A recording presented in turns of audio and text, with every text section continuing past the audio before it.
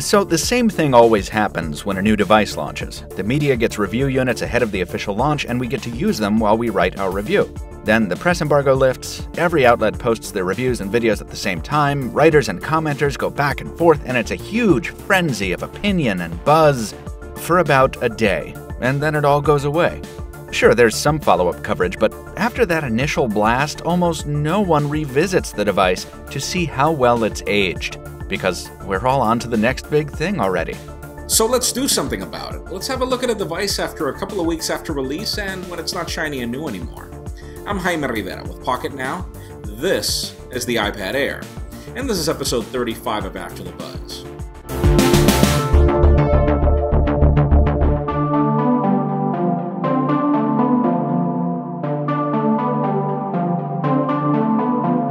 Over eight months have passed since the launch of the iPad Air, and at times when Microsoft has launched the Surface Pro 3, and when Samsung keeps pushing the bar with its tablet lineup, or even more important, at times when Apple is already preparing for the successor of the iPad Air, would it still be worth it for you to buy this tablet after the buzz? Let's talk about it. I've been using the iPad Air since launch date after my strong disappointment with the iPad mini, and so far my experience has been positive for the most part. You will remember that in my durability report I reported that I had some hardware issues with the display with some dead pixels, and Apple was nice enough to replace it for free in the Genius Bar, and ever since then, which was February, it still looks like new. It's hard to not acknowledge how thin and light this tablet is and how pleasant it is to use for content consumption, so we're sure that it'll age well for the vast majority of you. Aside from the great build quality and design, even cooler is the fact that the market is flooded with accessories to help you take advantage of it. Whether it's keyboards that merge seamlessly or many other things, owning iPad hardware has some benefits for the most part. The fact that Apple also keeps design cycles for at least two years also ensures that whatever accessory you invest on today will probably work on the next model. Software is really where things get mixed. Having a tablet running iOS has its benefits and its caveats. If we talk about the good stuff, I'm already running iOS 8 beta on this iPad, and whomever isn't is already using the latest and greatest version of iOS without the drama of having to wait for software updates. This makes the use of an iPad over time to be drama free, and trust me, that matters. When it comes to iOS 8, aside from some minor bugs, it runs on this tablet like a champ, and what I love the most about iOS 8 is that it finally gives us some better stock tablet applications, which we criticized a lot on iOS 7, even though yeah, there is still no split screen multitasking. After that, the cooler part about owning an iPad is that iOS has the best selection of tablet applications in the market. And if there is no tablet application for the service that you want, the iPhone application works on it just fine as an alternative, as yes, the iPhone is the other device that has more applications as well. The downside here is when you match the software with my overall user experience, and notice I said my.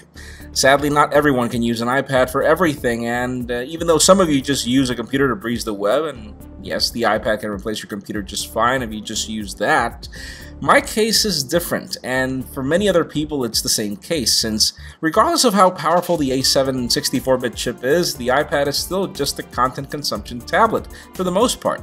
It is still just an iPad. Even if you actually can get some work done here, it is too cumbersome or too underpowered to get most serious work done.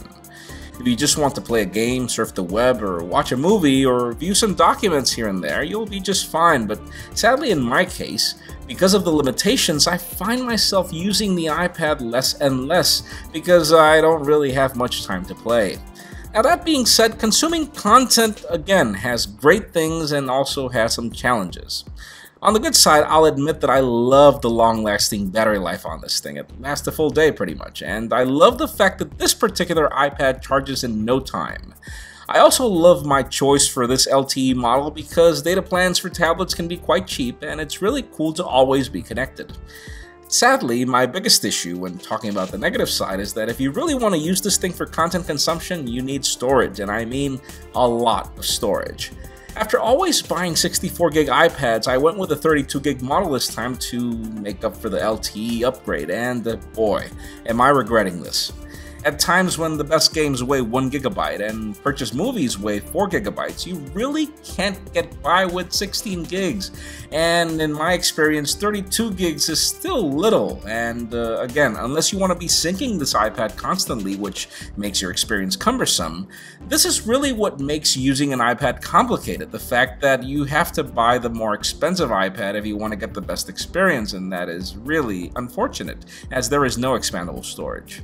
And yes, I do have to talk about the camera because that's part of the video, and the iPad has the same cameras that we've been using since the third generation iPad.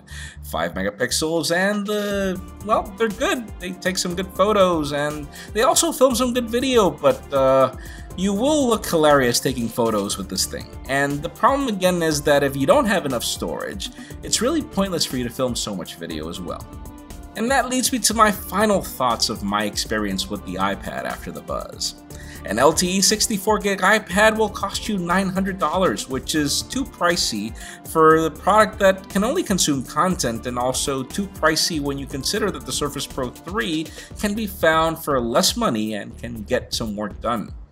Yes, for content consumption, the iPad is the best. You really can't compare it to the Surface Pro 3, but I do think that many people can't really afford a $900 tablet and a computer.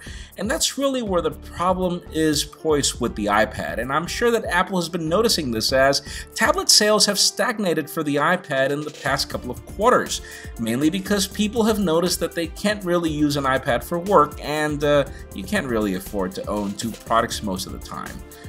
So, bottom line, would we recommend that you buy an iPad Air after 8 months of use?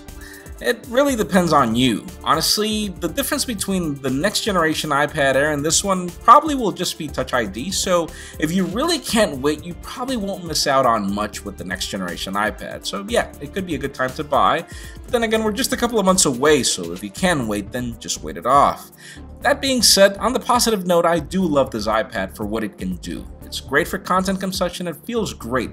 It is gorgeous. It's really beautiful, and it's just fabulous to use it again for what it can do. But if you really want to buy a tablet for work, this is not the product for you. It probably can get some work done, but not the best tablet for work.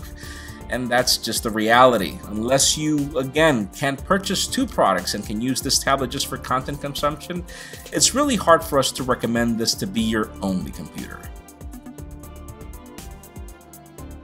That's it for episode 35 of After the Buzz. Thank you very much for watching. Do you own an iPad Air? Are you still on the ropes trying to buy one? Make sure you leave us a comment down below, and also make sure you follow us on social media. Subscribe to our YouTube channel as well. You can follow me on Twitter, Jaime underscore Rivera.